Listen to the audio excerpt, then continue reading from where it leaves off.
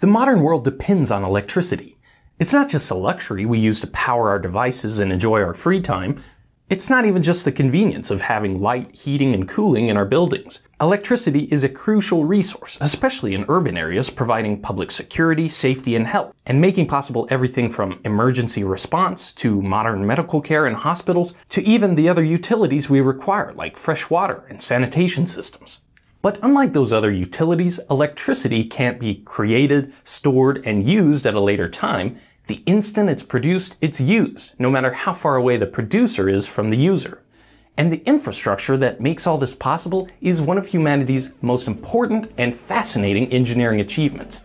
Hey, I'm Grady, and this is Practical Engineering. On today's episode, we're talking about the power grid.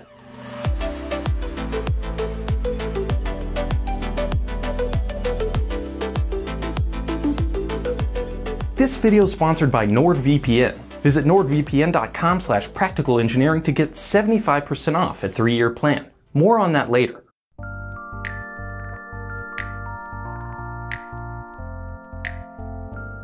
Like most people, you probably take the grid for granted. Electrical infrastructure is so ubiquitous, it's easy not to notice that most of our power grid is out in the open for anyone to have a look. I happen to be one of those people who does want to have a look, and hopefully by the end of this video series on electrical infrastructure, you will be too. This video is geared toward North America, but most of the concepts will apply to any other part of the world. And just to give you a sense of scale, there are only four distinct electrical grids that service essentially all of North America. You have the two big ones, Western and Eastern, and the two electrical separatists, Quebec and Texas. Depending on your definition, an electrical grid can be considered one of the world's largest machines. So how does this machine work? The basic function of generating electricity and delivering it to those who need it may seem simple. I can hook up a small generator to a light and boom, power grid. With the cost of solar panels reaching record lows, many are exploring the possibility of generating all the power they need at home and forgoing the grid altogether. But a wide area interconnection, that's the technical term for power grid, offers some serious advantages in exchange for increased complexity. Here's a simplified diagram showing the major components of a typical power grid, and we'll follow the flow of electrical current as it makes its way through each one.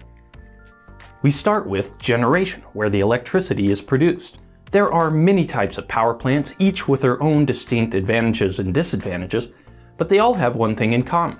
They take one kind of energy and convert it into electrical energy. Most power plants are located away from populated areas, so that electricity they create needs to be efficiently transported. That's handled by high voltage transmission lines. At the plant, transformers boost the voltage to minimize losses within these lines as electricity makes its way to the areas that need it. Once it reaches populated areas, transformers then step down the power back to a safer and more practical voltage. This is done at a substation, which also has equipment to regulate the quality of electricity and breakers to isolate potential faults. Some energy customers draw power directly from the transmission lines, but most are served from feeder lines that carry power from the substation. This part of the system is called distribution. From the feeders, smaller transformers step down the voltage to its final level for industrial, commercial, or residential uses before the electricity reaches its final destination. Rather than a constant flow of current in a single direction, called direct current, or DC, the vast majority of the power grid uses alternating current, or AC, where the direction of voltage and current are constantly switching, 60 times per second in North America. The major advantage of AC power is that it's easy to step up or down voltages, a critical part of efficiently and safely moving electricity from producer to consumer. The device that performs this important role, called a transformer, is as simple as a pair of coils next to one another. A varying voltage in one coil induces a voltage in the other coil proportional to the number of turns in each one. If the current doesn't vary, like in direct current, the transformer can't do any transforming. It's helpful to think of the grid as a marketplace. Power producers bring their electricity to the market by connecting to the power grid, and power consumers purchase that electricity for use in their home or business. The economics and politics of the grid are so much more complicated than this, but the important part of the analogy is that in many ways, the power grid is a shared resource.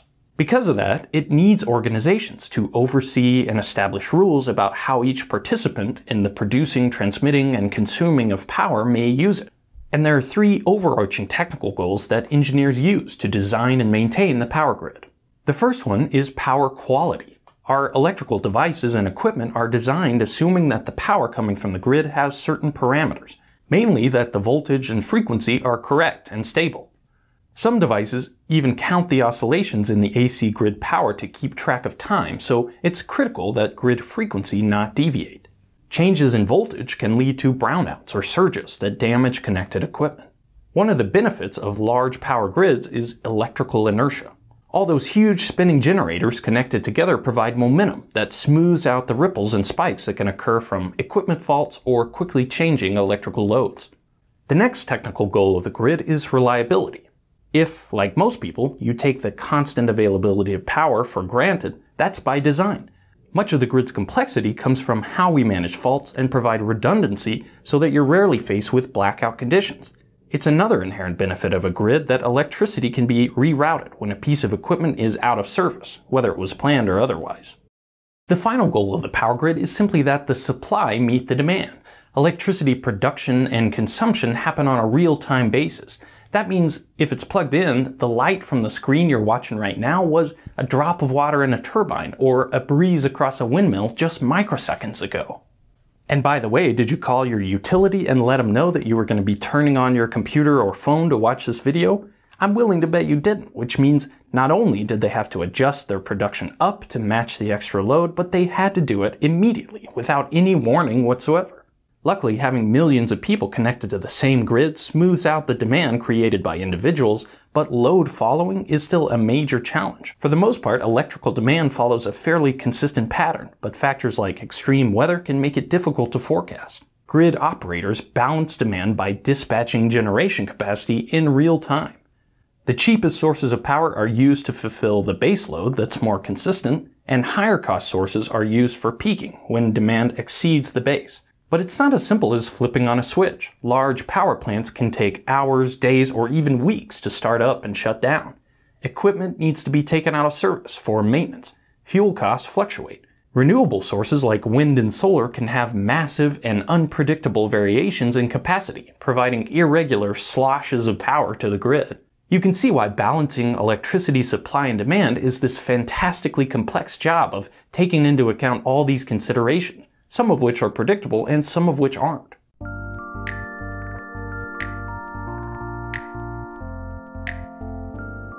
That's part of the reason we're trying to make the grid smarter by using software, sensors, and devices capable of communicating with each other. On the supply side, this can allow computers and software to do what they do best, take in and process huge amounts of data to help us make decisions about how to manage the grid. But a smart grid can also help on the demand side as well. Unlike most of the goods we buy, consumers don't have a keen understanding of power, how much we're using, or how much it should cost depending on the time of day or year. A smart grid can take away some of that obfuscation, allowing us to make decisions about how we use electricity in our day-to-day -day lives. Ultimately, the smart grid can help us use and take care of this huge machine, this shared resource we call the power grid, more effectively and efficiently now and into the future.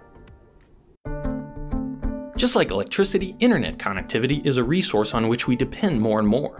I work on these videos in my spare time, which means I'm connecting to all kinds of sketchy networks wherever I happen to be. That's why I use NordVPN.